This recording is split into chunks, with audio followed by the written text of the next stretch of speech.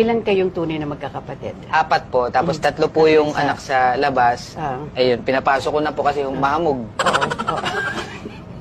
kapatid pa rin. Ikaw lahat ang panganay sa anim na kapatid mo. Apo, ako po lahat ng Oo. pangalan. Kasi po, mas matanda po ako sa kanila. eh.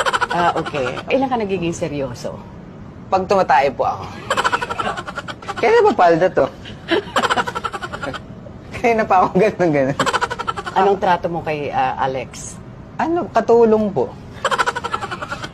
Yan daw kayo ni Piolo ng tigo 1 million na bonus. Opo, opo. Wow. Ano ginawa mo dun sa 1 million? 1 million. Pinigay kay Alex kasi kailangan niya eh.